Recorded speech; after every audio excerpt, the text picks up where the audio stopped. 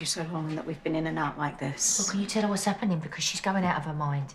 I've reviewed the scans and consulted with my colleagues, and it appears that some of your baby's organs are developing on the outside of its body. What does that mean?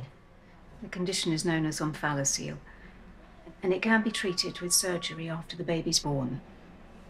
Surgery? Yes, I know that's a worry. And in these cases, it's helpful for us to offer you a test to check if the omphalocele has been caused by a genetic syndrome or condition. What if it has? I'm afraid that would be more serious. So, so, what are you saying? That she could lose a baby?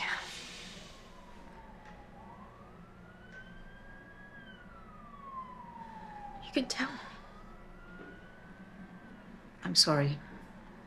In some cases, it could mean that your baby might not survive.